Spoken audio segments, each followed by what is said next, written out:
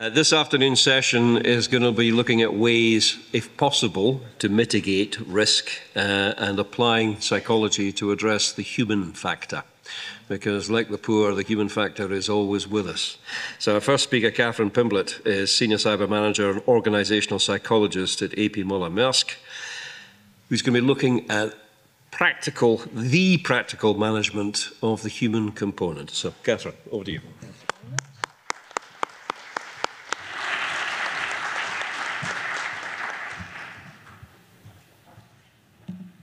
Hello, everybody. Hope everyone's having a good day. Um, as, as Mark, Mark, said, my name is Catherine Orcat Pimblett. Um, this is my first time at Scott Secure.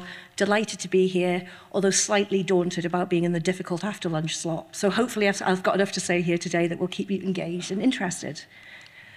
Um, so I come here today with a very definite agenda, um, which is really to try and convince you that managing the human component of cybersecurity doesn't need to be fluffy. Um, there is a behavioral science base that we can draw upon to try and maximize our chances of success. And what I really want to do today is go through some practical use cases of where we've applied that science to deliver better outcomes. So just to start off with a little bit about me, just to hopefully convince you that I do know what I'm talking about. Um, I am currently a senior cyber manager at Maersk, the global shipping and logistics company. Um, and I head up our human factors engineering team within cybersecurity. And what we do effectively is work with our engineering colleagues to make sure we're, we're baking in people and process elements to the cyber solutions that we deliver. We also do quite a bit of work around incentivizing secure behaviors, um, but it's very much a partnership with those technical teams. I am a cognitive and organizational psychologist by training, so I'm interested both in how individuals and organizations behave. I've been with Maersk two and a half years. Before that, I spent 18 years with the UK Ministry of Defence, working in both the UK and the US in a range of analytical and leadership positions, where basically the common thread was looking at how policy, people, process, and technology interact um, in shaping organisational outcomes. So all told, I've got about 20 years of experience of practically applying behavioural science. And I think what this experience has taught me is that within the cybersecurity sector, we can do better than this kind of messaging. There was some really interesting discussion this morning around humans being the source of error, and there's no doubt that they are. But I think as professionals, if our immediate stance when we're talking to colleagues is that they are a problem that we need to fix, that is not the beginning of a productive conversation. Conversely, I think recently we've had this other narrative coming in, which is that humans are actually the strongest link in the information security chain. Obviously, that's much more positive framing, but what I'd say is they can be, but it depends on how we enable them. So what I think we need to do is get a bit more granular about this conversation and look at how we can actually enable people to be part of our solution as opposed to constantly framing them as the problem. So I'm going to start with a little bit about what we actually know about human behavior, because as I said, as a psychologist by training, I know we've actually got quite a rich knowledge base out there. So to start with some really simple principles about how we see the world. Um, the point I'd make up front is that as human beings, we are not passive information consumers.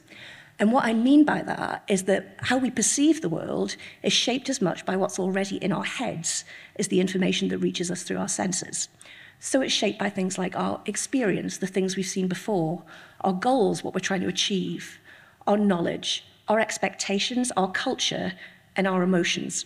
All of these things shape how we react to situations as much as the stimuli that we receive. And there's a shed load of studies that I could talk to you about that have evidenced this. I think that would get very dull very quickly. So rather than do that, I've got a little audience participation exercise for you. So, room full of security professionals. I'm sure you've all said this phrase, you certainly will have heard it. Security is everyone's responsibility. If you look at that graphic, can anyone see anything odd about it? Well spotted, sir. Um, that was quicker, I think, than anyone's ever got this when I've done these presentations. Um, but as, as, as the gentleman in the front said, effectively, for anyone that missed it, if you look at that triangle, it doesn't say security is everyone's responsibility. There's an extra is in there. Um, and a large proportion of people will look at that graphic and miss it. And if you're one of those people, just to reassure you, your reading comprehension is not impaired. If you had a few too many last night, this isn't it starting to kick in. What's, what you've just experienced is something that psychologists call top-down processing. So you were familiar with the phrase, you imposed that expectation, you matched it to a pattern in your brain, and it impacted what you physically saw. And the reason I always start by highlighting this is I think it's a really good practical example of how experience and context are key. So going back to that point about productive conversations with our colleagues, if you look at the context you have in this room, cybersecurity professionals, your job, your bread and butter is to manage cyber risk. And most, if not all of you, will have experience of quite how painful it can be when that risk comes to pass. Your average colleague just doesn't have that context. So, you know, if you're trying to get them to do their mandatory cybersecurity training and they find it dull, they don't have the context and the motivation to do it. If you're working with software developers and all of a sudden you're introducing security tooling into their pipelines, which they see as a lag on their processing, of course you're going to meet resistance. I think in cybersecurity, often we're asking people to take a personal cost for an enterprise-wide benefit that isn't always transparent to them, and that is a really hard sell. I worked with the military for a long time. If there's any environment where you could get away with saying, just do it and people will, that's probably it. And even there, it didn't work. So I think we need to be a bit smarter about this.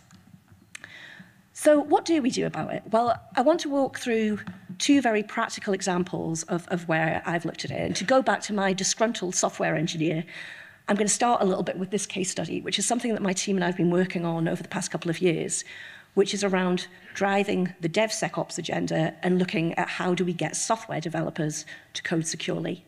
And it comes back a little bit to um, some of the points that were made this morning about prevention rather than reaction. We know that there are a set of software vulnerabilities that hackers routinely like to exploit, as businesses increasingly use software as a means of generating revenue, and as we move more and more to the cloud, that attack vector is getting more and more popular. So ideally what we want to do is at the design phase of software development, make sure that we're getting rid of those vulnerabilities before they ever reach production. Sounds like an easy sell, right? Um, and I think theoretically it is. But if you're a developer in a team with tough production targets and nobody's actually mandating this or incentivizing you to do it, it's surprising to see how many companies really struggle with really engendering this cultural change. So the way we've tackled it is by applying the science. So we've used something called the theory of planned behavior, which is, as you can see from the reference, nothing new, theory from the 90s, um, but it's been well used in marketing, in public health campaigns, and what I really love about it is it's almost embarrassingly simple.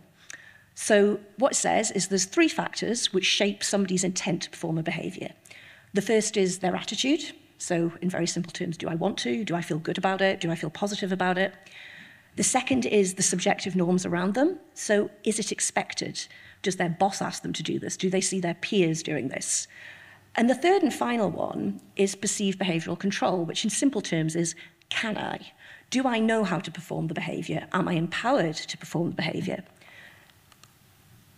And I understand that that probably sounds quite academic, but what's useful about this is it gives you categories of intervention.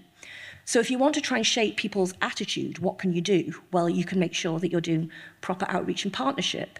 You can make sure that you're reducing pain where you can. So do you understand your colleagues' workflows to be able to implement security practically? You can really look at communications around what's in it for me. So going back to the developer, rather than saying this is about security, can you say, if you uplift your skills, this differentiates you in a crowded marketplace? There's ways we can be quite clever about it. And we can start to make it fun as well, which I know might sound like a stretch, but I'll come back to that in a moment. For as expected, this is all around leadership advocacy, recognition of good practice, security objectives, so that organizational wrapper, which is so important in terms of setting the tone from the top. And then finally, on this kind of can I piece, do people actually know what we're asking them to do? Are we setting up clear expectations of what good looks like within their particular context? Are we giving them the appropriate tools to do that? And are we actually equipping them with the skills to do it correctly? Um, and one of the things I wanted to highlight with this is I think all too often when we're talking about the human component of security, the answer is awareness. We'll do some awareness training. Awareness is really important, but that's only really hitting that first column. If we're making people aware that they need to do something, but they don't have the tools to do it, we're still not moving the needle any in terms of building more secure systems. So what we've done within Maersk is, is use this as a framework to look at interventions. So we've done things like um, part with training providers to run secure coding tournaments to try and make it fun and recognize where people are really succeeding and flagging this up to their management. Like many companies, um, we set up a cybersecurity champions program, so trying to scale the impact of our um, security department out into the broader population and get their feedback in terms of how we can do better. We've put a lot of work into our policies and guidelines in terms of making sure it's really, really clear what we're asking people to do. What I noticed when I came into this role is that quite often I think we're big fans of giving developers in particular choice and flexibility, we're also giving them workload when we do that. You know, sometimes people just need to be told quite clearly, this is how you can be more secure. So that we've put a lot of work into that. And then finally, what we've done is we've developed something called the DevSecOps Culture Survey, which is not particularly clever. It's an MS Forms tool. Based on these categories, it's got questions against them. And what that allows us to do is assess where we've got gaps. So it's quite a neat way of looking across those three categories and saying, where do we need to really uplift um, that motivating factor? Um, we've made good progress, but to be quite clear, as I said, I've, I've put the is it expected vector there as, as amber. I think that's where as an organisation, we need to move further. I think we've got good dev engagement, but getting that business process owner um, buy-in, I think, is where we need to get to. So what's the outcome of this been? Um, well, I think what we've got is a maturing DevSecOps culture. Um, we're certainly seeing, in terms of our tooling, increased and quicker vulnerability remediation, which ultimately is the hard, um, hard metric that we want to get to. We're seeing a shrinking skills gap because we've carefully curated um, sort of training and awareness material. And what's really lovely is we're getting better cooperation. So that quote I flashed up, that was feedback that was given in the DevSecOps culture survey I mentioned last year.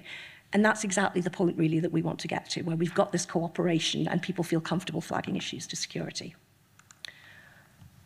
So that's an example of where we've applied um, behavioural science to try and help people be part of the solution. What I want to cover now is how we can apply behavioural science to stop people being the problem. So case study, how do we stop people making errors that lead to cybersecurity incidents? And as I've said there, poor Kermit possibly fallen victim to a phishing scam. And there is a reason I've used a picture of a Muppet, which is probably not particularly subtle, but I'll come back to later. Um, so in terms of how we stop people making errors, Spoiler alert, we don't. Um, human error is inevitable and universal, and any complex or safety critical system, they have recognized this for decades. People will slip up. Um, and focusing solely on that point of failure, I think is really unhelpful. And there's three reasons for that. First of all, it masks potential interventions. It creates a blame culture, which isn't the same as accountability and is really unhelpful. And ultimately what it does is it forces bad practice underground. So if somebody thinks they've made a mistake and feels they can't report it to the security department, that helps precisely nobody. So we really need to work on, on this kind of messaging. And the key thing, I think, is that we might not be able to change the human condition, but we can change the conditions in which people work. And that's what I'm going to focus on right here. So um, again, applying the theory, this is work from a guy called James Reason, human error expert. I would heartily recommend his work to anyone who's interested in this field. But basically, he did an awful lot of work looking at aviation, at healthcare, um, and looking at places where errors can be really, really you know, impactful and critical. And what he said was that basically in any complex organization, you've got these barriers of defense. So you've got certain organizational factors, you've got supervisory or manager factors, you've got preconditions in terms of the working environment, and then you've got people that will conduct an unsafe act. You've got these barriers, but they've all got holes in them, which is why it's called the Swiss cheese model. So it's like thinking about, you know, four layers of Swiss cheese. And things have to pass through those holes to get through and an unsafe act to occur, right? So um, if we look a little bit more about what these barriers mean, so organizational influences, you've got an organizational culture, You've got strategic plans. You've got at a top level resource management in terms of how within your organisation certain things are prioritised. From a supervisory factor point of view, what's the adequacy of supervision and support is there an appropriate allocation of work? Do you have the right, the right skills in the workforce? Are you appropriating that work um, appropriately? Um, and then there's this thing around regard for rules and standards. So it's all very well at the organizational level, having these policies and rules. As somebody mentioned this morning, if they're not part and parcel of how people work, it's effectively shelfware. You've then got the, the actual environment in which people are working. So you might have environmental factors in terms of is it loud? Is it busy? Is it hot? All things that might make somebody flustered and make a mistake. You've got individual factors around people's level of fatigue. Again, there was reference to that this morning in terms of incident response. You know, that level of fatigue, again, is something that might lead you to um, commit an error. And then you've got team factors. What's the team dynamic? Is everyone clear what each team member is supposed to be doing? Um, so if you've got issues each of these levels, what you can get to this point is where somebody might make a slip. So they intend to do the right thing, but they execute the plan incorrectly. The example I always use, I was sick earlier this year, went to throw my empty paracetamol packet in the bin, walked upstairs, having thrown my iPhone in the bin with an empty packet of paracetamol. So these sorts of things happen to us all. Um, mistakes, which is where you might misdiagnose a situation. So you, you execute the plan correctly, but it was the wrong plan.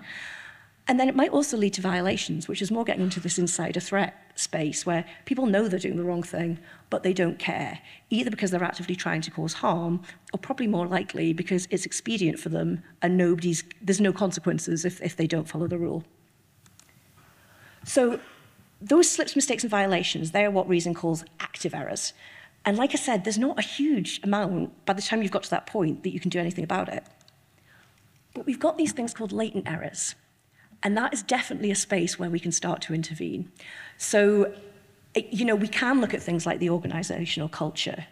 Um, we can look at whether there's adequate supervision and support. We can look at shift patterns and see if people are being fatigued. So I might be saying that human error is inevitable, but that doesn't mean there aren't things we can put in place to manage it.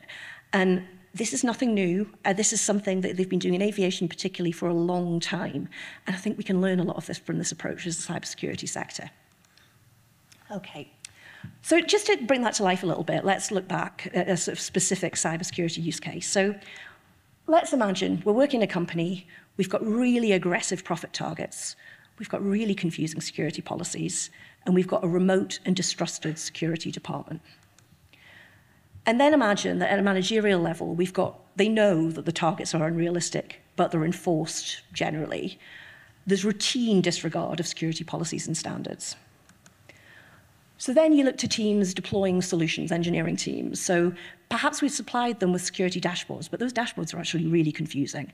And it's not clear how to prioritize, say, vulnerability remediation if there's these tough production targets, those teams are probably going to be really tired and stressed.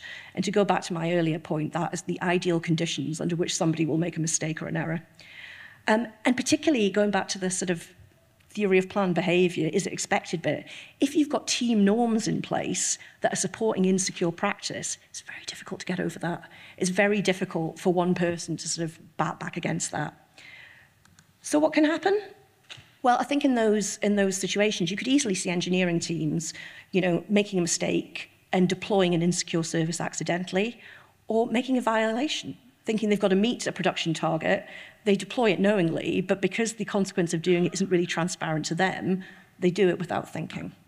Um, and what I'd say is, to a degree, within that context and climate I've just described, that unsafe act is kind of inevitable. But that bit's avoidable. And I'd say that this is true. I'm, I'm, using, again, an engineering example here, but you could say the same about people clicking on a phishing link, right? I think we've got to kind of get away from this focusing on the person that makes a mistake. Often they're the last person at the end of a chain. Our potential to act at that point is very limited, if not non existent. But there's stuff we can do about this stuff. Um, and again, there's plenty of examples from other sectors of the sorts of interventions that we can take. So hopefully I'm not too over time, just got a couple of slides left. But um, what's the outcome of applying this, this sort of, of, of way of thinking and applying this lesson from other sectors? Well, I hope what the outcome is is we stop doing this because it's not helpful. And that's not to, you know, canonize human beings as being the answer to all problems, but I think demonizing them as the sole problem from the outset isn't helpful. Um, and I think we need to have a, a more sensible conversation about what our points of intervention really are. Um, so the outcome really is we can take a real holistic approach to risk mitigation, and we're drawing on best practice from other safety critical sectors. Um, Why this hasn't, a, lot of researchers have started to talk about this more, which is fantastic to see. What surprises me slightly, it hasn't caught on to the degree it has in other sectors in cybersecurity, which is why I'll always take up an opportunity to, to talk at, um, at fora like this about where I can see the practicalities of it. Um, I think we want to get to a point where we've got accountability but not blame. Um, having accountability, understanding where errors are occurring and looking where the intervention points are, that's great. Pointing at that idiot over there, that's not great. That's not helpful to anybody. Um, and to further that point, I think we need to get we need to delete the implicit muppet. I think as a sector we're really bad for it. That obviously the problem is people aren't clever enough and don't understand what we do.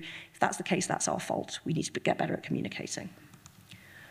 So just to finish off, I always think it's, it's a good idea to, to finish with the so what. Um, so the key thing, considering the human aspect of cybersecurity, it's not a dark art. It really isn't. So th think Hermione Granger, not Voldemort, for any Potterheads or parents of Potterheads. It's about learning the science. It's about looking at what's out there and looking at how we can apply it. We, we can demystify this, or, or I believe we can. Um, there's lots of fancy definitions about what human factors engineering means to me. My very simple definition is it's the structured application of empathy and common sense. Um, what I always say is this stuff isn't rocket science, but it is science. So, you know, the stuff that we can draw upon, but I think a lot of this comes back to examining ourselves and the way that we approach problems and the way we bring people with us in that, in that journey. And just to finish, again, to hammer home, there's a rich knowledge base we can draw upon. And it's only, if we do that, it's only going to increase our chances of success. So thank you very much for listening. Um, hopefully I haven't run too much over time. Perfect. And I'll look forward to taking any questions later. Always a pleasure to engage on this stuff. So thank you.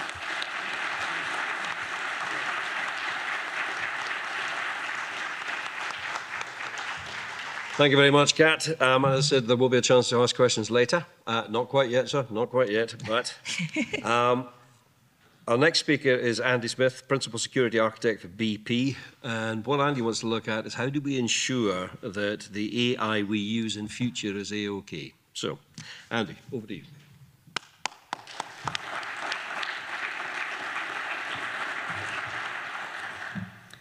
All right, good afternoon, ladies and gents. Uh, absolute pleasure to be here this afternoon. Thank you for coming along and listening to me uh, ramble on about how we can secure uh, AI. Uh, unless you've been, well, even if you have been living under a rock for the past year and a half, you would have definitely heard of this thing called AI, right? You can't go uh, anywhere without seeing AI being the solution to all of your problems.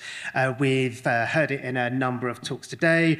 no doubt you've been speaking to some of the vendors upstairs today. Uh, everyone's got an AI solution uh, that they want to sell you. So in this session, we're going to look a little bit about, okay, well, how do we make sure that the AI solutions that our, our businesses are leveraging are actually going to be safe and secure?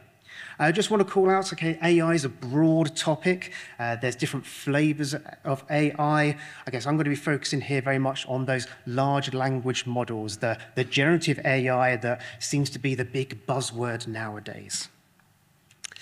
Uh, a little bit about myself before we kickstart. Uh, so yeah, Andy Smith, I'm a principal security architect at BP, uh, where a big part of my role is looking at how we secure the emerging technologies. So again, all those buzzword technologies that uh, folks in our uh, digital and business teams get really excited about adopting, uh, but we don't necessarily have an easy way just to Google, how do I secure this new thing?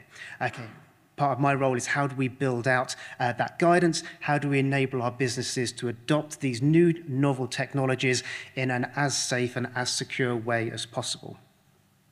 Uh, I also teach for SANS. Uh, I'm an instructor for the uh, SEC 530 course. That's all around uh, defensible security architecture and engineering. And uh, where I have time in between those two things, uh, I volunteer my time for the OWASP Foundation. so for the past nine months or so, I've been working as one of the core team members on the OWASP Top 10 for Large Language Models project. So I guess most folks are probably fairly familiar with OWASP and the, the classic top 10 of uh, the 10 most common web security vulnerabilities. Well, the top 10 for LLMs project has done exactly the same thing, but focusing in on those vulnerabilities that are specific to LLM-based applications. I'm going to touch on that a little more uh, later on. When we combine the words AI and security, we might be referring to a number of different things. So just to level set here, I am not going to be talking about how we in cybersecurity can use AI to solve our cybersecurity challenges and problems. Uh, we've heard a number of speakers talk about that already today. I'm also not going to be talking about how attackers use AI systems in order to try and attack our organizations. Again, we've heard a, bit more about that uh, earlier today. Uh, my focus here is very much on those uh, AI solutions that our business want to use. How do we make sure that those are appropriately safe and secure? Because we have some fairly unique and fairly novel security challenges associated uh, with AI and particularly uh, with large language model based solutions. When it comes to trying to understand a new technology and to build out some security guidance around that technology, one of the, the, the, models, one of the frameworks that I tend to apply is to try and peel away some of the layers of technology and to really understand how is that technology working? What's happening under the hood? I find that always enables me to have a much better understanding of then what are the security challenges and how do we address them. And AI is no different. AI is one of those things that, again, if you chat to uh, particular, particularly vendors, uh, it's almost like magic, right? It, it's like this magic fairy dust that we sprinkle on a product and suddenly it solves all of the problems. Uh, that's unfortunately not the case, right? AI is not magic. Uh, it is just maths at the end of the day. So uh, if we're going to explore some of those security challenges with large language models, uh, let's start off here by uh, peeling away a couple of those layers of technology. Where do our large language models actually come from? Well, a whole bunch of training. Uh, so we're talking about language models here. Therefore, uh, the data that is used to train language models is human language. So typically, a bunch of information scraped off of the internet of conversations, of uh, people asking questions and people answering those questions, uh, news articles, uh, documentation, any kind, kind of human language all that data gets thrown at millions of dollars worth of GPUs, and out the other end comes a, language model. Now, okay, the reality is there's a, a, little bit more to it than that. I've oversimplified a little bit, but for our purposes here, okay, that's, that's a good baseline uh, start. So we have our large language model, and we can then start to use that for various purposes. And one of the most common uh, uses of a language model is to perform completions, which is essentially where we are providing some text to a language model and asking it to tell us what's the next most likely word to appear after this. So, for example, we may take a, language model and we may feed it uh, the text. Uh, some people like to put pineapple on there language model thinks about this for a little while and probably is going to spit out the word pizza because some strange people do indeed like to put pineapple on their pizza. Uh, but that's not the only thing that a large language model might respond with, because some people like to put pineapple on their uh, on their plate, uh, maybe on their yogurt, on their breakfast. There's many words that could finish that sentence. And so what exists within that large language model is effectively a, a probability distribution where the most likely responses are the ones that are most likely to be returned by that language model. I call out that probability distribution uh, because that uh, drives a degree of uncertainty around language models. And we're going to come back to that uncertainty and what that means for security uh, in a moment. I also want to call out here, um, this is what's happening inside a language model at the most fundamental level. So when you are looking at all of those wonderful AI-powered solutions, particularly the, the generative AI, the LLM-powered solutions, this is what's happening under the hood. Doesn't sound very impressive, right? Or it's just guessing the next word. How do we get all this amazing functionality that we see in products, that we see in things like uh, ChatGPT, from a system that is essentially just guessing the next most likely word to appear uh, in a sentence? All of that comes from all of the other things that uh, sit around that LLM, that large language model. Uh, an application that is brokering uh, input and output to and from the users of that system. Typically, that uh, application will be uh, taking user input and inserting that inside some kind of system prompt. A system prompt being a set of instructions that get supplied to that large language model in order to try and drive its behavior into a certain direction. And say for something like ChatGPT, the system prompt goes along the lines of, uh, you are ChatGPT, you are a helpful AI assistant, you're here to answer a user's query in an informative and courteous way. Uh, the user's query is, and then the application pastes in the, the question that a user has asked. Uh, the system prompt continues, and your response is dot, dot, dot, all of that gets sent to a language model, and that language model then starts answering that question. So that system prompt is the thing that is uh, driving the LLM to try and actually answer the question at hand. Depending on the LLM app, there may also be other things that help uh, drive some additional grounding to, to steer a language model into providing more useful answers.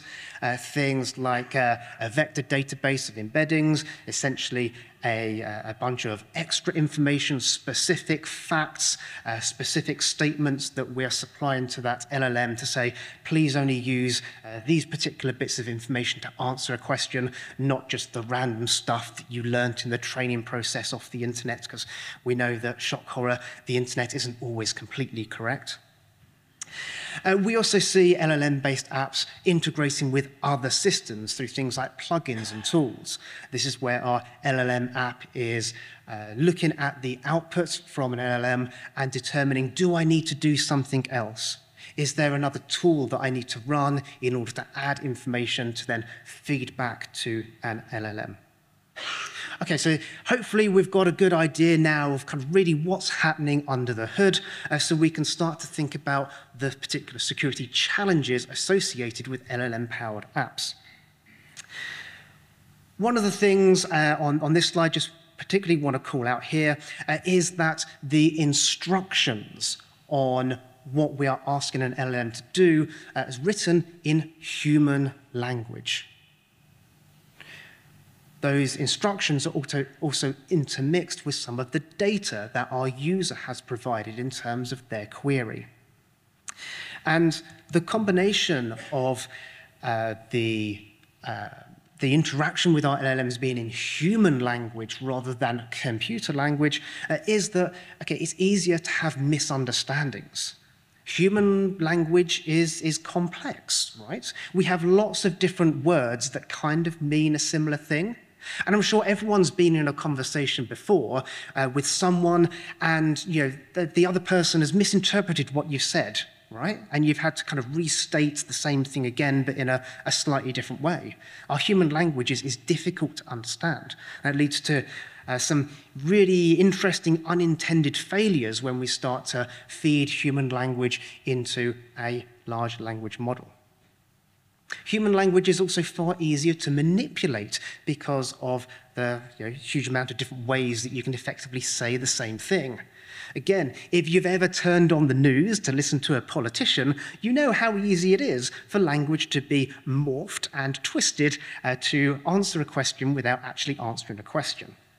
Likewise, it's very easy for attackers to uh, twist and change um, inputs into an LLM-powered application to drive that app into doing things that it was not intended to do. And this is what we refer to as prompt injection where attacker is uh, causing those intentional failures within an LLM-powered app. And we've seen a bunch of examples of this. Um, a couple recently, the, uh, the Chrysler car company had a nice AI-powered uh, chatbot on their websites to help answer queries from customers. And uh, didn't take long for one customer to work out that it could uh, convince this chatbot to agree to sell him a car for a dollar because of you know, manipulating some of those prompts. Uh, another example, I think the DPD, the delivery company, uh, they had uh, someone that was able to, to get their chatbot to then start swearing at them and do all sorts of other horrible things. Um, prompt injections, uh, a whole uh, big um, range of, of different vulnerabilities wrapped up in prompt injections. I could talk for hours on that stuff, but uh, is, one of the biggest challenges we have with LLM-powered apps. AI systems, LLM-powered systems, uh, also are non-deterministic. This is very different to the way that we are used to computers operating. We're used to the fact that if you uh, run the same piece of code multiple times, you're going to get the same result. LLM-powered systems, that's not the case. There's intentionally some randomization built into that large language model in order to bring a bit of creativity to answers. Creativity is, is a good thing, but it means that the operation of a large language model now becomes unpredictable. We, uh, it becomes uh, undeterministic. We're never quite sure how it's going to answer. And again, from a security perspective, that's, that's a bit weird, right? That's, that doesn't give us much confidence that a system is going to be operating reliably. There's a number of ways that we can reduce things like prompt injection. Uh, we can uh, reduce uh, um, hallucinations of LLM-based systems, uh, but there's always a trade-off here in terms of the more uh, grounded that we try and make answers, the more uh, filtering that we might put in place on inputs and outputs, the uh, the more we are going to impact the, the creativity and usability of an LLM-powered system. So there's a, a, a really big trade-off between uh, security and reliability, uh, along with accuracy and uh, utility as well. All these things are uh, really closely intertwined. Uh, the last point I'm going to call it here, the last thing that's kind of a bit special about LLM-powered systems is just the vastness of the problem space. Again, with a traditional piece of code, in order to make sure that it's going to operate reliably, to gain some confidence that uh, we don't have any security bugs, we perform a bunch of testing, right? We test all of the inputs and verify what the outputs are. Well, we don't have the ability to do that with AI systems. After all, we use AI not because it sounds cool, but because our puny human brains can't actually work out how we would manually code something in order to solve a problem. So we ask the computer to learn how to do it itself. There's no way that we can then verify all those potential inputs and outputs because there's so many inputs and so many possible outputs. If we did try to test each and every one, well, we'd probably hit the inevitable heat death of the universe before we finish that task. So a whole bunch of challenges uh, that are very, very specific to LLM-powered systems that make them somewhat different to our traditional IT systems, and therefore we need to think about slightly different approaches to when it comes to testing and securing those systems. And if that wasn't enough complexity, right, there's additional complexity in the form of, okay, well, how are AI systems being delivered to us in our organizations? Are we buying a product that is uh, AI powered? Or conversely, do we already have a product in our inventory where the vendor has now just released some extra AI features, oh, and they're turned on by default and we don't have a way of turning them off? Thanks, vendor. Uh, or potentially uh, in your organizations, you may have uh, teams that are trying to build their own LLM powered apps. How we treat each of those different cases will vary somewhat because we're accountable for different elements uh, of those solutions. It's a little bit like having a shared responsibility model for, for cloud infrastructure, right? You can kind of think of it in a similar way. Uh, the, the framework that uh, I tend to use or uh, the, the, way I think about it in my head um, is of a number of different uh, security scopes or, or layers. Yes, there's, there's certainly, certainly that training aspect, right? That process of taking a whole bunch of data and creating a model out of it. And most of the time, we're not going to be doing that in our organizations uh, because, okay, that's a really intensive and expensive process. We're probably going to be leveraging somebody else's model. Uh, for example, things like a GPT 3.5, a GTP, GPT-4, uh, maybe something like Llama, those sort of, sort of models that somebody else have created there's the, the, the model itself, uh, or potentially a fine-tuned model if, if we've decided to go through that fine-tuning process. In some cases, models may be accessed or interfaced via a platform. Uh, now, this may be a cloud platform or something that, again, you're developing in-house to kind of broker access to different models. That can actually be a really great place to embed some common security controls that apply across multiple different applications or use cases. I mentioned previously that a lot of the power around uh, an LLM solution comes in that app, the thing that is wrapped around uh, the LLM itself, uh, the code, uh, the uh, embeddings, the grounding, uh, all of those sorts of things inside that application. And again, there's a bunch of things that we need to be thinking about in order to secure that app. And I call out here uh, the, the OWASP uh, top 10 for LLMs, uh, a great resource. I'll touch a little bit more on that. I have a, a, separate frame of a, a, use case that's separate to an application uh, because how we use an application has an impact on uh, what is the, the severity if something goes wrong. You know, we could use the same application in multiple places and uh, in use case A, maybe you know, it's for um, creating some ideas for team building exercises. Okay, that's, that's nothing particularly sensitive, right? That doesn't involve our company information. Okay, what could go wrong? Yeah, go ahead, uh, use something like ChatGPT for, for uh, creating ideas for team building. Uh, conversely, using that exact same application, in this case, ChatGPT, for uh, analyzing the uh, sensitive terms of our contracts.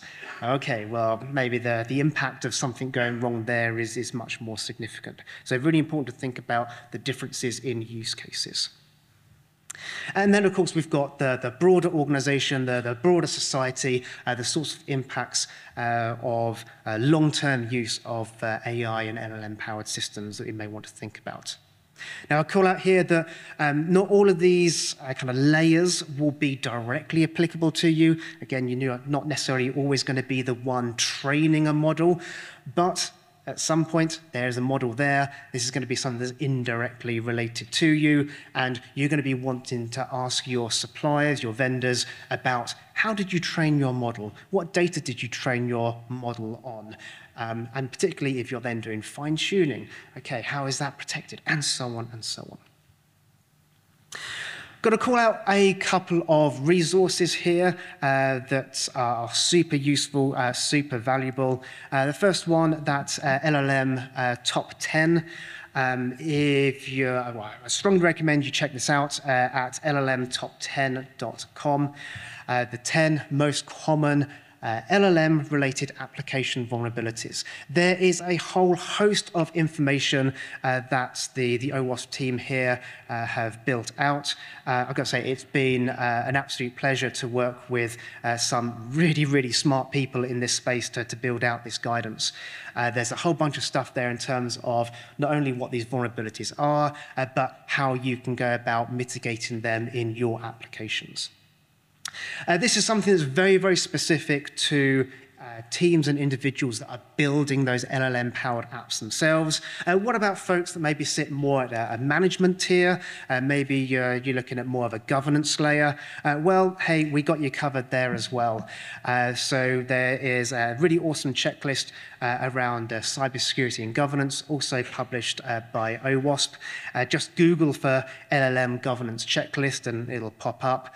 this doesn't necessarily give you all the answers, but it is a really, really great list of things. Have you thought about this? Have you thought about that? Do you have this in place? So if your role is a little bit more of a you know, managerial or governance role, this is probably a good resource to, uh, to be taken a look at. Final thing as I wrap up here uh, some top tips that I found uh, from my experiences uh, trying to secure LLM based apps uh, within my organization. Uh, first of all, uh, try to avoid saying no. You know, cybersecurity teams have a bit of a bad rep for being the department of no, right? there's the old joke of, you know, if you ask a five different cybersecurity people a question, you're going to get seven different versions of no. This is not a good place to be in, right?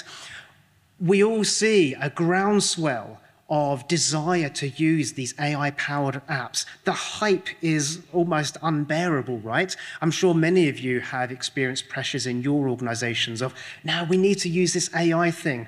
Our competitors are, and we don't want to fall behind. We really need to do this. So try to say yes as much as possible. A big benefit of saying yes as much as possible is that those business teams then get the opportunity to see the AI for themselves. And surprise, surprise, shock, horror, some of the claims being made by vendors are not always true, right? And so this can be a great way of then uh, removing some of the tension if our businesses are, are looking at AI powered solutions and then they realize, oh, this is not actually going to change the world for us. Okay, it's, it's releasing some of the pressure on us in security. Clearly, you need to balance risk here.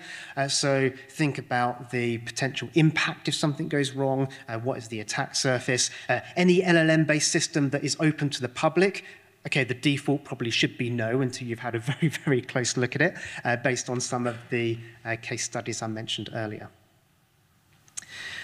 Second top tip, uh, find some allies. It's not just us in security that have concerns around uh, LLMs and LLM-based apps. Real challenges in legal, in procurement, within teams looking at uh, digital ethics and responsible AI. There's a number of individuals across uh, your organizations that will be uncomfortable about AI and want to have some checks and balances in place. So look for those allies to help you. Uh, there was a, a, question this morning um, that, that, came up around the uh, EU AI Act. Yep, that's just come in, right? Uh, that's a law. You must adhere to the law. So, okay, maybe go and have a chat with your legal team about how you can get together, maybe implement some governance processes to make sure that, again, the AI apps that you folks are uh, deploying in your organizations are not only secure, but also legal as well. Uh, and lastly, uh, upskill and contribute. There are very, very few experts in AI security. Uh, it's something that collectively, as an industry, we're still working out. Uh, so don't worry that you don't have all the answers. Nobody has all the answers. Uh, but look to upskill where you can. Play around with creating your own LLM-powered apps. Uh, jump onto something like uh, the, the LangChain website, LangChain, a great Python library. You can just copy and paste, I think, like 20 lines of code, and you create your own ChatGPT-like system. It's a really great way of getting some hands-on experience of how things are working under the hood. Uh, play around with things like Gandalf, if I don't know anyone has seen the, the Gandalf little game of how you can use prompt injection. If you haven't, definitely give it a go. And yes, contribute to some of those uh, public uh, activities. Things like uh, the OWASP projects, uh, things like um, uh, the, a whole bunch of other you know, public bodies are, are getting uh, groups together to try and work out some of the problems that come with AI security. So take part in those, great way to work with peers, learn off of peers, and, and help kind of give back as well. So uh, that's me. Um, I think we're about to jump into some Q&A. Thank you, folks.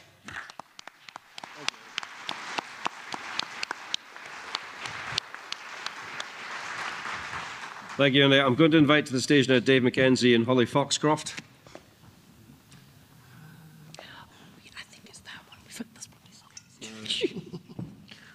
Everybody in the room will have seen a one or other of these, but it's possible that you might not have seen both. So I'm just going to ask them to very briefly introduce themselves, just give a wee bit of background. So, Holly, do you want to kick off? Yeah. Um, hi, everyone. Uh, Holly Foxcroft. Um, so I'm head of neurodiversity and cyber research and neurodiversity consulting. Ollie, could I get you to pull that microphone towards you? I think it's, it's, it's having to overwork. There you go. Hello. there we go. Shall I start from the top? Um, so, yes, Holly Foxcroft. I'm head of neurodiversity in cyber research and uh, head of consulting at Stott and May Consulting. So, I further my already standing research into neurodiversity within cybersecurity. Um, previously, it was more on the cybercrime side and understanding the vulnerability of neurodiversity, which can contribute to pathways into cybercrime itself. Now I'm looking at um, neurodiversity's impact into cybersecurity posture. And I support organisations who want to be more neuro-inclusive, how to engage with a more neurodivergent workforce, and to, of course, already support the very neurodiverse teams that we already have. Thank you very much. Dave. I'm Dave, I do blue teams. so um, I'm Dave McKenzie. I, I yeah, I do. I, I do. I build blue stuff for a living. So uh, I currently run my own consultancy, Damn Good Security, uh, and we help small, medium-sized businesses with cybersecurity problems, like how to build strategies, how to deal with supply chain issues that you're now getting as a small business. Okay. As with this morning, there's two ways of asking questions. You can either do it in Slido, um, or you can stick your hand up and we'll get a microphone to you. Before we go to Slido, has anybody got a question from the floor? Right to the front here. Do that, we'll come back to you in a moment. Thank you. If you could identify yourself as well, please, sir. Yeah, um, Craig Ramsey from Omada Identity. So it's for Catherine, but then anyone wants to add as well. But you, the example you gave about bringing the organisation along with you and enabling them to understand cyber security better. If you were to flip that on the head of us trying to have that conversation upward in organisations, I think often we can all be guilty of talking about it very much as a technical problem yeah. and not aligning it that cyber risk is business risk. Is there any tools or techniques that you've found effective in communicating that and helping them well, not understand, they're not stupid people, um, but understanding the importance and helping us gain the investment in what is meant to be a priority that we keep hearing. No, absolutely. And I think it's a really great point. I think that is where we trip ourselves up a lot. And interestingly, I saw quite a similar thing when I worked with the military, when we were looking at people trying to get investment in communications technology versus tanks and ships. Uh, you know, how do you really get that benefit across? Well, it's something that feels quite techie. I think the best thing we can do is really tie the capabilities we offer to clear business outcomes. And it sounds like a really obvious thing to do, and it, it can become quite difficult. But I think having a clear narrative around addressing this risk allows us to perform better in ways X, Y, and Z. Um, the risk reduction narrative is a really important one, but I think a lot of the time, it's just come behind me. but whoever asked the question, pub, yes, absolutely. Um, it, you know, I think the risk reduction conversation is a very important one, but ultimately, I think a lot of boards are concerned about their bottom line. So if there's some way to frame um, cybersecurity within that context, I think that's the best hope we've got of communicating at that level. I hope that answers the question. Do you want to add anything to that? Uh, I always ask an organisation, what does a bad day look like for you? Uh, and sometimes you get a blank look and you go, okay, we've got some work to do here. But if the business doesn't know what bad day looks like, mm. I've just taken away all your computers. How does that? How does how does your day look like now? Uh, and that's I always start there. And if if nobody's answered that question, uh, that's the first place to start because then you can talk to the business about this is the impact that removing of X system or X capability happens. It will be for those that were in my talk earlier, it will be three days before we stop taking orders because of this. And being able to translate it back into the business processes. Uh, don't. It's not a cyber conversation. It's a business conversation. It always has to be the this process here stops working. We can either invest in cyber to make it resilient, or we have to have backup processes which will cost X, Y, and Z. And sometimes cyber security is not the answer. Sometimes it's the buy another one so that you've got two. Okay, thank you. Lady there. Another, ca- another question for Ca- uh, Catherine. My name is Dr. Catherine Mongol. I'm a, also a behavioural scientist with a history of working um, in the IT sector and the civil engineering sector. So um, my question is, how do you convince the management of your company about the theory of planned behaviour as a basis for um, the processes that you're trying to show? Do you have other psychologists there that can kind of ratify what you're saying, or is there someone that just believes that you're an expert because you you have the qualification? How do you convince them that you've got the right tools and what you're saying is appropriate?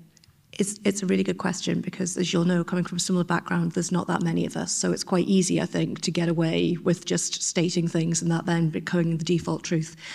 Um, within the organisation, there's it, it's me and my team. So within the organisation, I don't have that level of challenge, but what I'm really big into is peer review across the broader community.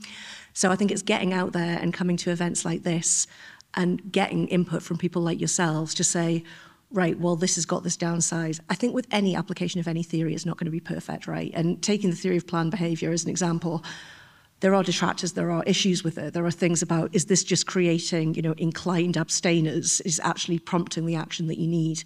I don't think there's ever going to be a silver bullet. What we found is that this, probably because it's so simple, is a fairly useful framework, which we've seen succeed in other sectors, that we can use as a first check to look at our interventions. Will that develop further? I, I certainly hope so. But I think peer review is massively important, and it's very nice to meet you as someone else working in the industry. I'm going to ask this question off Slido because it just made me smile. Um, I'm all for being positive, but what if a lot of people in your business are Muppets? How do we mitigate that risk? Andy. You've got to make security easy, right? Um, if if you believe that there are a lot of quote muppets in your organisation, uh, you've got to make it you know really difficult for them to do something undesirable. Uh, you've you know you, you've got to be user centric, right? Uh, one of the the, the mindsets that uh, we we adopt in, in BP is make security easy, make security the easiest path to follow, so that you actively need to do something negative or bad in order to be insecure. Now, again, it, it's kind of easy to say that, and the practice is is a little more challenging. Uh, but yeah, that, that that's my take on it. Ollie? Is Muppet a Scottish word, or is it generally those like Kermit the Frogs? Or are we talking about just people being? Um, Yeah, okay, right, got u- it. Used in Scottish vernacular, but I don't think we originated it. Muppet to me is Kermit the Frog and Yes. Piggy. Okay, um, one thing I think we should address is the accessibility of your security training as well. And there's there's an organisation called Culture Gem, um, and it actually addresses the accessibility of your security awareness training um, and how you are reaching the wider organisation outside of your cybersecurity team to drive home um, how to approach cybersecurity awareness training. Um, and accessibility, I think, is, is one key point to actually make sure you're meeting them where they are in their understanding. What language are, uh, do they understand? And then, of course, measuring. Measuring if they are taking that on board or where those pitfalls are. So, just going to sing from the top of my voice again Culture Gem. Please write it down. Please look at the work that they do. Um, and hopefully, Gemma, who runs Culture Gem, will pat me on the back again. She's a great girl. I'm going to quote something back to you, Catherine. Um, you, one of your slides, you said, human error is inevitable. And I'd like everybody to have a say on this, if it's, if it's okay with them. Um, if human error is inevitable, surely, logically, we're better without the humans. I'd very much like to answer that, but I'll let my panel members go first. One at a time, please. One at a time. I guess well, wh- wh- what's the alternative? Uh, uh, is the suggestion there I'll replace everything with with AIs or? um, I don't know. Uh, I mean, I don't think we can remove humans at all. Um, yes, people make mistakes, but so do systems, right? When we look at uh, AI reliability, um, okay, it produces good answers most of the time and absolutely crazy answers other times, right? Um, we, we almost have a, a higher expectation of AI than we do of, of people, right? You know, we accept that, that people are going to make mistakes, but maybe uh, have, have no acception of uh, an AI or a computer making a mistake. We expect it to be, be perfect. Um, yeah, I, I don't think we can remove people. I don't think we should remove people. Um, I think that people are a source of error and that error needs to be managed, which is why I'm never a fan of this people are the strongest link in security because you're always going to find an example, probably quite quickly, of where that was not the case. The analogy I draw is with aviation. Um, so people are a source of error. They're also a source of incredible creativity. And the example I tend to fall back on was um, a United Airlines flight where in, in the States back in the 80s, um, one of the tail-mounted engines exploded, cut all hydraulic power. That plane should have crashed. No one should have survived that the aircrew on board, having lost all their engineering potential and, and, and, instrumentation to actually steer the plane, actually used the throttles to control power to the engines and got that plane on the ground. Now, people died, but a lot of people survived. And had that plane been controlled purely by algorithms that don't have that capacity for creativity, and someone might fight me on that, but I'd fight them back, um, I would argue that that plane, would, those people would not have survived. So I think we really need to sort of take the rough with the smooth when it comes to people and systems. They add a great deal. They are also a source of error. So I think it's, to, to, to Andy's point, how do we maximize the potential and mitigate the issues? I think that's the balance. And it's not an easy one to strike. But like I said, I think we do have tools and expertise at our disposal where we can do it. Okay. Holly, bin the humans. um, well, I'm a neurodivergent, so sometimes I actually ask myself that quite a few times. um, I think there is there is so much power in diversity of thought. There is so much power that, that we have got as far as we have because of that. And what we do now is we live to neuronormative standards, which is mainly neurotypical. We only accept those ways, and that's why we fall short in so many different ways. We we don't accept different ways of thinking. We don't accept different ways of learning. We accept that they exist, but we don't allow them to happen. And we don't make different we don't make level platforms for that to happen. And anything that does we just outcast. And we say that's that's not the right way. We need to be more wider in accepting that we are different. And there are going to be differences. And there are going to be shortfalls. And it's meeting people where they are expect except expecting everyone else to just be at this one level playing field. So don't bin the humans but except some of them may already be in the bin, maybe pull them out of the bin by giving them the right support. Excellent. Dave? Uh, I, there are many humans in my past that I wish we could have put in the bin. Uh, but I, I, I've, I've always been, I mean, you take phishing and you go, right, that, that Muppet clicked on a phishing link. no, that person clicked on a phishing link and something happened and anybody can click on it. So human error, yes, is completely inevitable. It's our job to make the fact that that error should not allow a network or a business to be brought down to its knees. So if your business can be brought to its knees by someone clicking on a single link, there's something wrong in your security department. Now, it's not an easy thing to fix by any means, and there's a lot of work for a lot of people. But the only way you're going to make phishing go away is by removing the ability for a single person in the office to bring down the entire network by clicking on a link. And if you want to follow all the way through, nobody should be able to impact the organization by a single action. Can I just add another point? Um, so I'm also the cybersecurity lead for the Portsmouth Education Partnership. Um, and Portsmouth, way, way down south, um, we are a city where a lot of our children live in deprivation, and we are using um, a digital drive to support um, our schools and our, our children. Um, and I'm leading on the cybersecurity, both advising schools on what they definitely need to do, training they need to give, but also supporting children in digital citizenship. And what we have seen with some research with the University of Portsmouth is risk assessment. Now, years 9, 10 and 11, um, what's it in Scotland, like just towards the end of high school, yeah. I'm not sure in your school structure. Fifth and sixth. They they mostly up to a 90, 90, 87 to 93% pass phishing simulations. What they fall foul to is dis and misinformation online. So I think over the next few years, we're going to start to see, as Gen Z now come into our workforce, is that difference in risk and the difference in perception of risk. Um, but also the way that they understand phishing is they are so susceptible. They, they, they will, if they receive an email, they will absolutely analyze it completely oh, I'm not clicking on that. It's almost been inbuilt in them. So I think it's generational as well. So how we approach so, um, security training, I think it's actually going to change as we start to welcome a younger workforce in. I think you're going to need to change. Are they then going to be more open to actual social engineering tactics because of the dismiss information? So I think that's actually something that we need to have a wider look at as well. Okay. Can I just, please bear with me on this, because that was a lovely story about the airplane. I'm going to tell you another one. Again, absolutely true story. Um, it was a um, United Airlines flight, um, and they lost everything.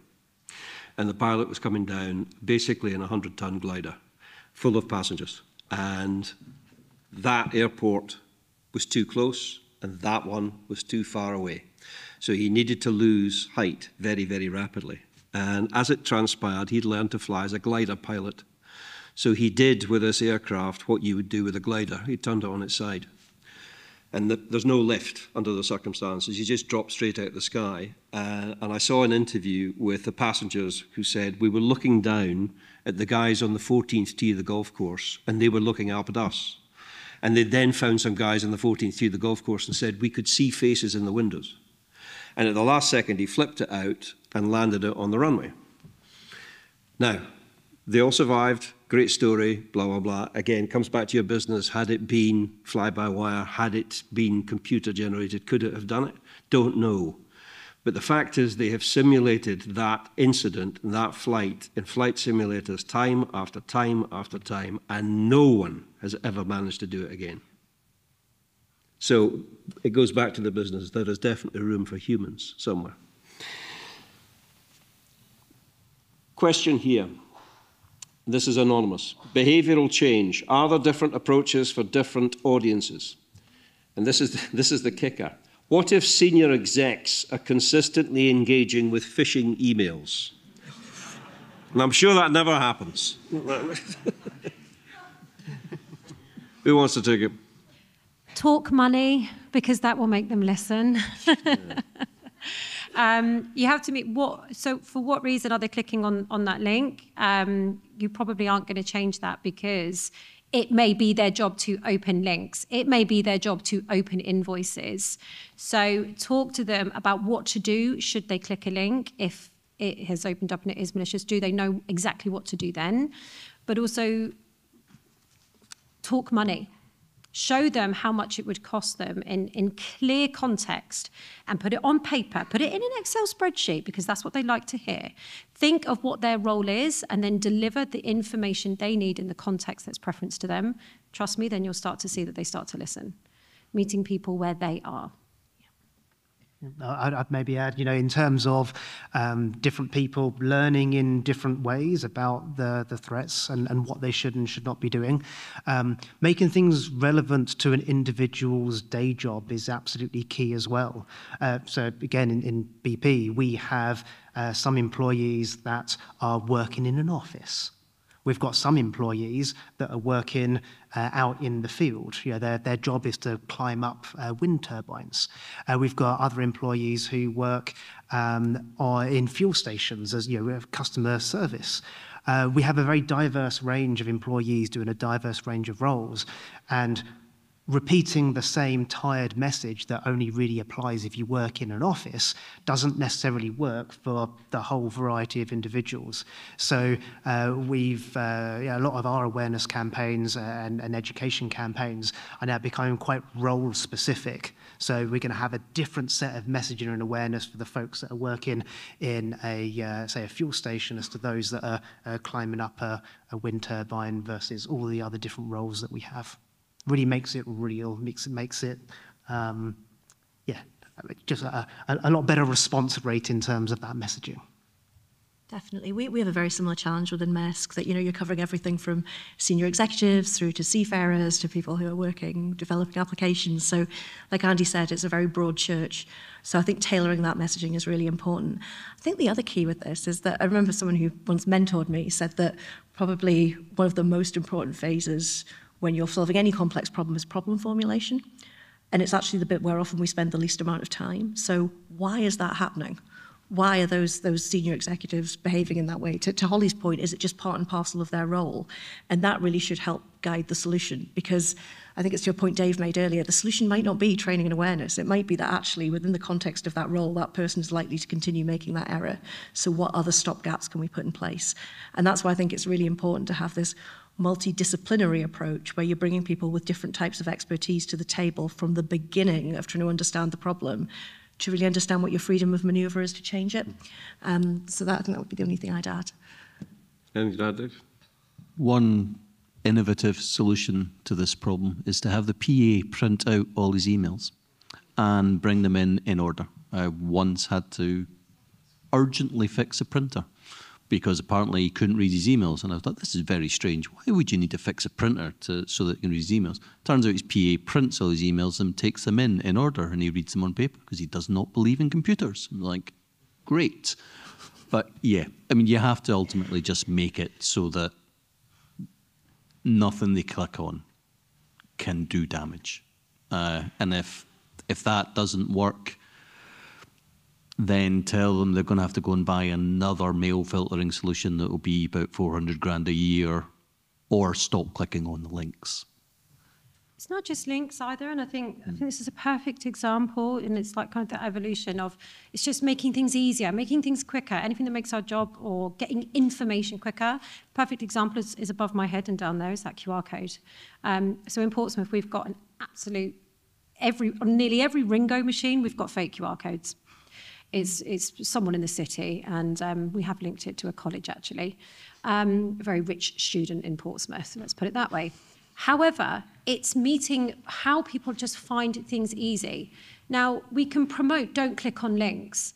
And if we had a link that was sent out to you, how many of you would click on that? But how many of you have been scanning those QR codes? It's about supporting your browser and it's supporting those types of evolving. And it's how does it make it easy? Because a lot of security um, awareness in, in don't do this, don't do this, check that, check this, it's not easy it's, it's quicker just to click it and then yeah. report it. So secure it at the site, secure your browsers because people are going to click links, people are going to scan those QR codes, and it's just the evolution in how we are with our relationship with technology and cyberspace itself. And don't make people feel stupid. Yeah. Um, there was a vendor here, uh, well, not actually, I don't think it was a Digit conference, it was one I did quite a few years ago on cybersecurity, and one of the vendors turned up and they were giving away those little pen drives and um, stood up to speak in the afternoon and said, uh, I hope, hope you'll plug them in and what have you, because it's got, it's got a fun little virus on it. I've never seen a room go so cold so quick. you know, I don't think that company's in business anymore. It's just don't make people feel like fools. They'll come along with you if you explain it, but if you make them look stupid, they will not forgive you in a hurry. Right. One more thing, if I just carrying on just that discussion a little bit more in terms of um, getting the right messaging that suits individuals. Uh, I think also getting the getting the right messaging, uh, sorry, the right controls to suit individuals as well.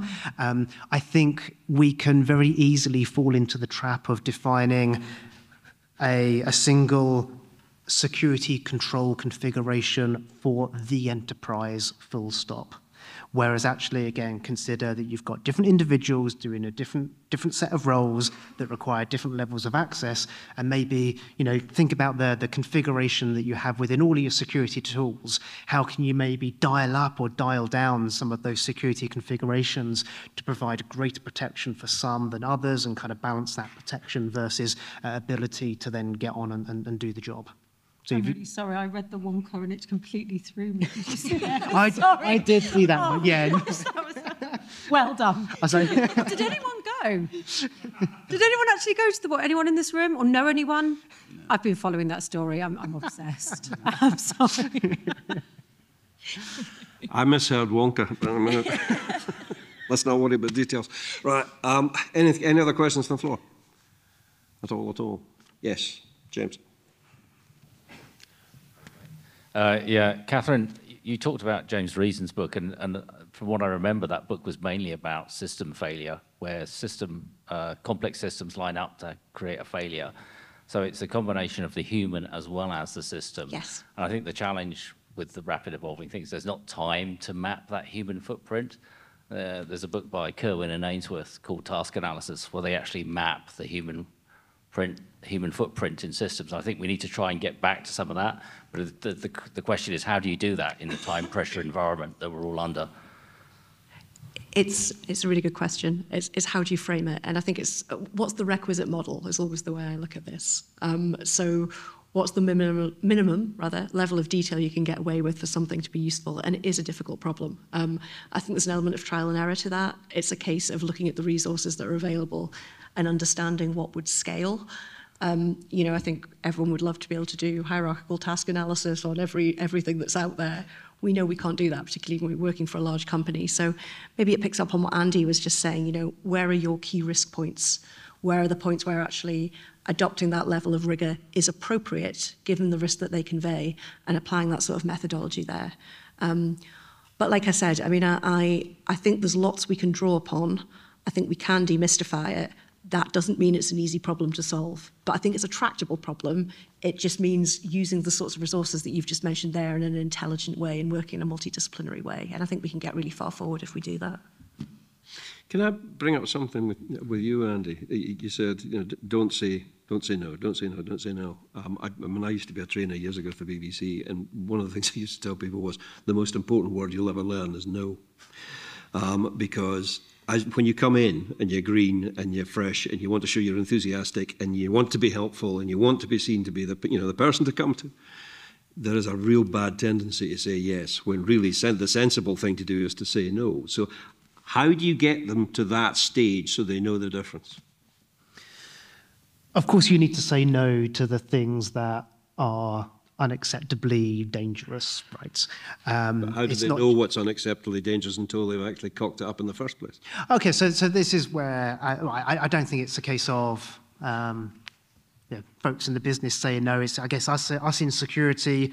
Um, deciding or making a recommendation, you know, can you do this thing? Can you not do this thing? Uh, and at the end of the day, it comes down to, to risk management, right? And, and that's one of the great things that we as humans, we as cybersecurity professionals can bring to the party.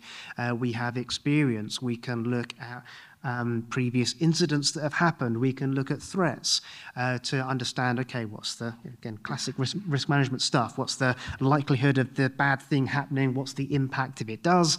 Or here's some things that you could maybe do to mitigate that. Um, with the, the drive to, to try and enable as much as possible. Uh, because the danger of saying no all the time is that, well, I'm just not going to bother asking you anymore. I'm just going to go do the thing. That's where we get shadow IT from, right? And that's even more dangerous because, again, we in cybersecurity, we can't protect what we don't know about.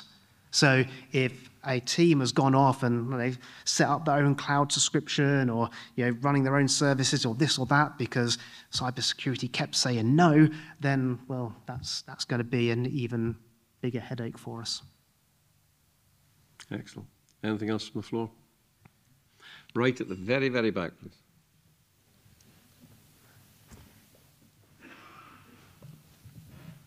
I think this will probably be the last question. Hi there, this question's for Dave. Dave, you touched on a point in your talk about business continuity and disaster recovery. One of the challenges we have in our organisation is we have quite a mature sort of fire and flood recovery, so switching from site A to site B.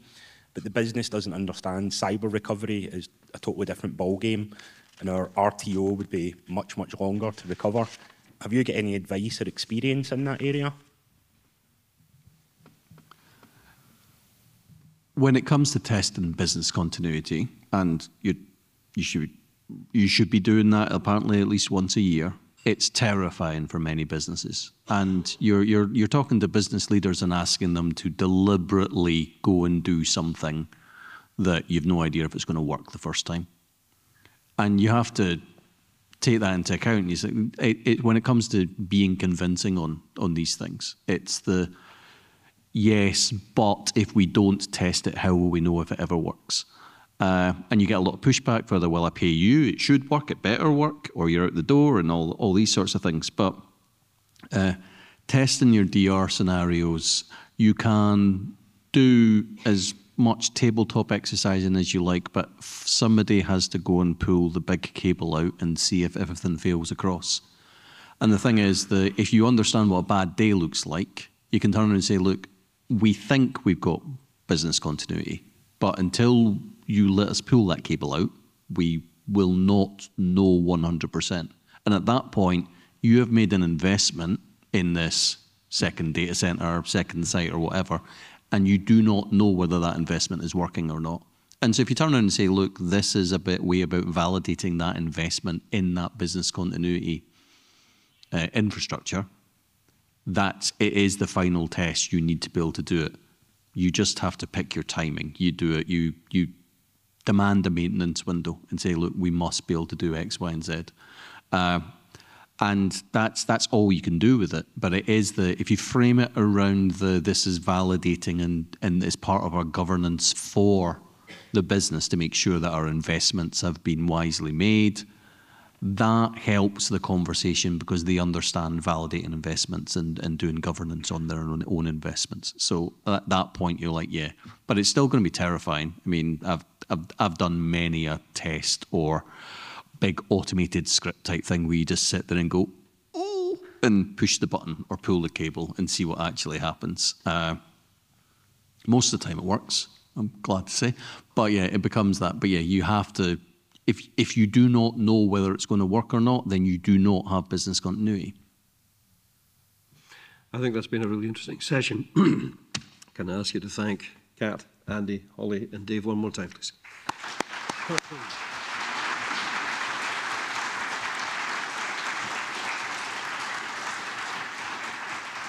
Actually, I'd really like to thank all our speakers and our conference partners, exhibitors and sponsors. I hope you took the time to actually go and talk to them. Uh, those badges around your necks, you can take them home if you want, but it's kind of pointless. Digit will recycle them. If you leave it upstairs on the desk, please, or even just on the seats here, we'll get hold of them.